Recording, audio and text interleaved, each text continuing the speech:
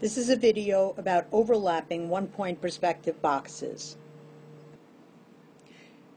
So here I've drawn the start of a one-point perspective opaque box below eye level.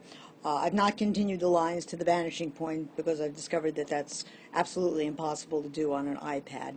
Um, in order to stop the box in space, as always, we look between the two orthogonals, and between these two orthogonals is a vertical. So now we have a vertical further back, and the other two have a horizontal, so now we have a horizontal. Now to do the next box, we simply decide where the top of the front of the next box is going to be and where the side of the next box is going to be. And then we need to use our eraser in order to get rid of any of those connecting lines. Now, of course, we're doing the lines overlapping here.